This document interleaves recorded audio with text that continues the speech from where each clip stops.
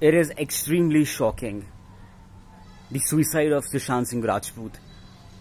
You know what?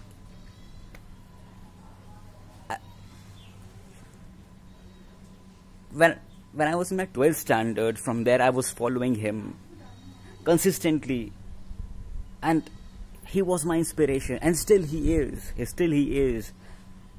जैसे कि उनका दो साल में he was he was in पवित्र रिश्ता एंड आफ्टरवर्ड्स ही जब वो पीक पे थे and he was earning lakhs of money per month and just because की he lost interest in that serial just because he found that monotony and then he left उन्होंने छोड़ दिया Pavitra Rishta and then he was going to study abroad acting but suddenly he gave audition to he gave audition in Kai Po Che for I Kai Po Che and then he got selected from there and then the journey start of Bollywood he I don't know how to describe my my grief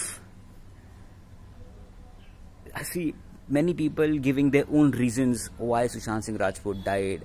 Somebody saying uh, because of depression, somebody saying nepotism, that, that's why depression happened, somebody saying that Karan Johar, Salman Khan and all, these Ekta Kapoor, these kind of people, harass किया उनसे उनका हक छीना ये सब किया मुझे नहीं पता मुझे लिटरली नहीं पता मुझे कुछ नहीं पता बस मैं आज आप लोगों से ये क्वेश्चन पूछना चाहता हूँ। आप लोग अपनी राय दो यार, मुझे बताओ कि वाई मतलब क्यों क्यों क्यों? According to you what is the reason like मेरा जो रीजन मेरा अपना मानना है कि he was a person he use to live in the moment and he use to say that moment में मज़ा आना चाहिए मोमेंट में जर्नी में मज़ा आना चाहिए। डेस्टिनेशन तो एक बार पहुँच गए तो खत्म हो गई कहानी एक्साइटमेंट खत्म। It's all about moment it's all about ये, जो ये पल है।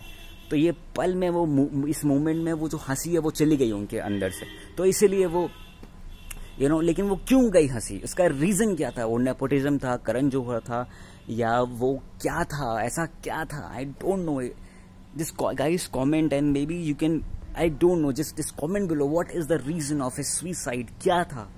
I don't know man I just don't know